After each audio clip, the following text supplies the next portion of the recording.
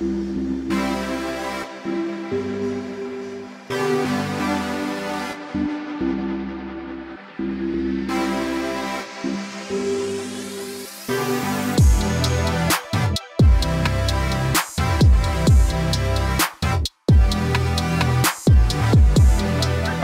sīkāk mēs šodien skatīsimies video, bet zinām tikai to, ko treneris pateicis.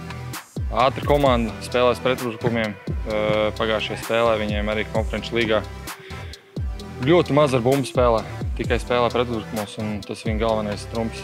Um, mēs esam ļoti labi gatavi. Pārceltā spēle, tātad virslīgā un, un, un pauzīt ir. Tātad vairāk laika bija atpūsties pēc tām 120 minūtēm, kas bija Paksakā. Laikam būs pavisam savādāks futbols nekā ar Klaksiju, kur tomēr ir vairāk gaisa, divcīņas, otrās bumbas un tā tālāk. Es domāju, ka jā, viņa tehniskā komanda ir ātra komanda, tāpēc uh, būs pavisam cits futbols. Uh, grūti vairāk bija tāpēc, ka bija ceļš uh, pirms spēles no rīta, tās visas lidmašīnas atcelšanas un viss, viss pārējais autobusā ilgs laiks.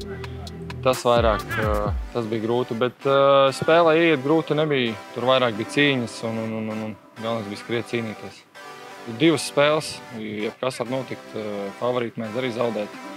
Un mēs izskatāmies ļoti labi, manuprāt. Mēs mierīgi varam viņus arī uzvarēt. Protams, noskaņoties daudz vieglāk ir, kad tu zini, ka tik uh, liela atbildība ir.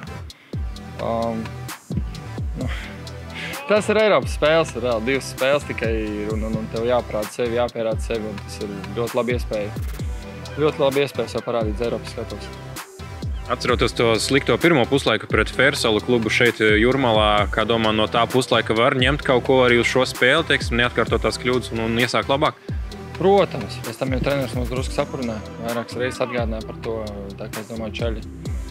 Čeļi liks aiz auss to visu un, un, un būs labāks puslaiks.